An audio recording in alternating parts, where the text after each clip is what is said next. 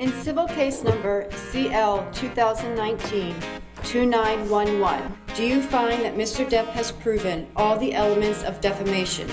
Answer, yes. Has Mr. Depp proven by a greater weight of the evidence that question, the statement was made or published by Ms. Heard? Answer, yes. Gentlemen, you will always remember this as the day that you almost caught Captain Jack Sparrow. More than six weeks of covering this trial. We thank you so much. Uh, maybe we'll check in with you later. But for now, I want to go right to Linda in the studio. She has a statement from Johnny Depp, his reaction to the verdict. Linda. And we were honored, truly honored, to assist Mr. Depp in ensuring that his case was fairly considered throughout the trial. We are also most pleased that the trial has resonated for so many people in the public who value truth and justice. It's been a very long road to get where we are right now because it seems like something years in the making because it very much has been. Johnny Depp has been fighting for his innocence for a long time now and it seemed that every single hurdle something happened that would cause him to fail or be set back. And when the jury went into deliberation for the defamation case that's been going on for the past month, no one could tell who was going to win and that made people nervous. But now we know Johnny Depp won and he won big. We'll break it down for you, but before we do that, go ahead and do us a favor by leaving a like on the video, subscribing to the channel, and hitting the bell icon so you never miss an upload from us. And with that being said, let's get straight into the video.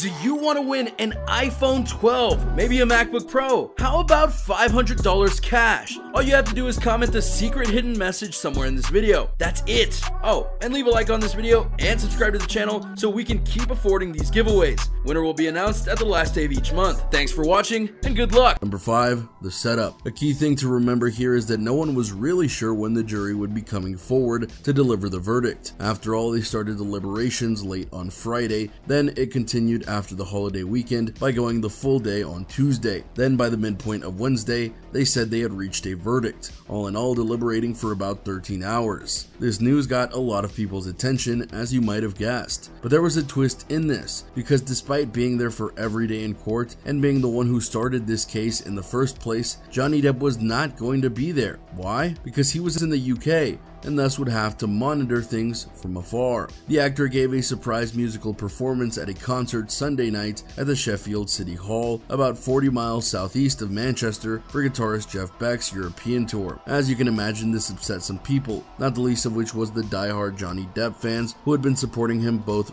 outside and inside the courtroom throughout this case. Oh, and there was Amber Heard's camp, who also wasn't happy about things. Your presence shows where your priorities are, according to a statement from Heard's camp. Johnny Depp plays guitar in the UK while Amber Heard waits for a verdict in Virginia. Depp is taking his snickering and lack of seriousness on tour. That lack of seriousness was a reference to how throughout much of the trial, Johnny Depp decided to draw and doodle on various pieces of paper, especially when Amber Heard was on the stand, as he refused to look at her due to a promise he made to her previously. Amber Heard was at the courthouse when the verdict was ready to be handed down, and people were very much curious with how things would go, and the result was both what people hoped for, and not exactly what people expected. Number 4. The verdicts. Yes, verdicts because if you forgot, there were actually two different suits going on here. The defamation suit via Johnny Depp and the countersuit done by Amber Heard. Depp's was for $50 million and Heard's was for $100 million. The jury had to settle on amounts to give to both of them, and that's exactly what they did, but with one side getting more than the other. A Northern Virginia jury sided with Johnny Depp overall, finding that former wife Amber Heard defamed him with allegations that he had committed DV. The jury has awarded Depp $10 million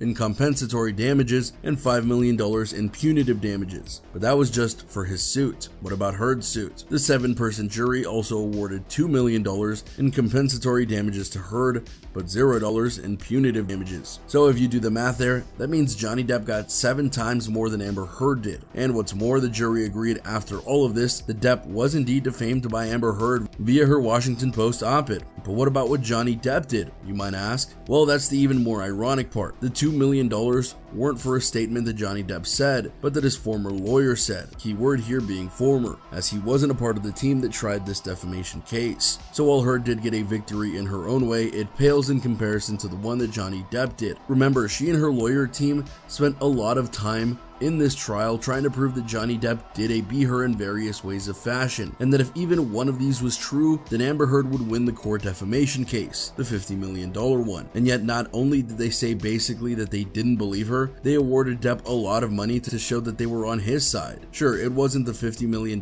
he was asking for, but $15 million is hardly chump change. And while $2 million isn't bad either, the message was clear. The only thing Johnny Depp did wrong in the jury's eyes was have a lawyer who made a bad statement about Heard, and that's not entirely on Depp as many would say. Number 3. Social media reacts. As anyone who's been following this case will tell you, the social media presence of the fans of both sides have been looming and loud throughout all of this, and that was just as true when the verdict came down. Overcome with emotions at the moment, he did it. So proud of him. It's been an honor to fight for truth and justice for the past six years. Finally, he has received justice, one person wrote on Twitter. On Reddit, some celebrated saying justice is alive and well. On TikTok, the celebration continued, with one user posting a video of herself crying with happiness with the text, he actually won. The comment section also celebrated the victory with some writing. I'm so proud and justice was served. Within 15 minutes, the video had amassed nearly 25,000 views, showing just how invested social media was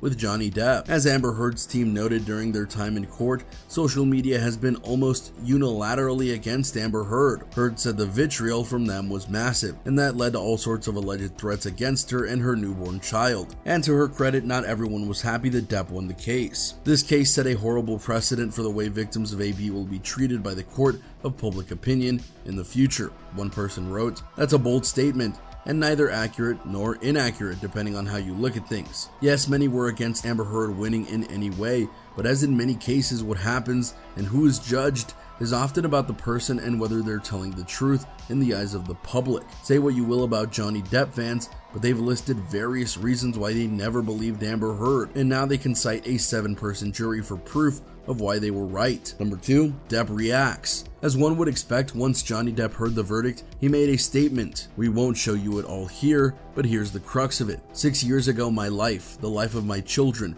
the lives of those closest to me, and also the lives of the people who for many, many years have supported and believed in me were forever changed, all in the blink of an eye. And six years later, the jury gave me my life back. I am truly humbled. He promised that the next phase of his life would be the best yet, and thanked everyone who supported him throughout this case and all that came before it. So that begs the final question at this stage in time. Number one, what happens now? Well, if we're lucky, this is where things end for the Depp Heard saga, because it's gone through multiple courtrooms and even countries to try and find the truth of the matter. And now a jury has ruled that Amber Heard defamed Johnny Depp and lied about her AB and that Depp didn't do anything wrong overall. This could potentially change the way people look at both. This could potentially change the way that people look at both Johnny Depp and Amber Heard in very profound ways, to the extent that the ban on Johnny Depp in terms of his being in Hollywood might just be lifted because it was these allegations that were holding him back from doing more acting in the US and other parts of the world. But now that he has been declared innocent, he has the freedom to do what he wants, more or less.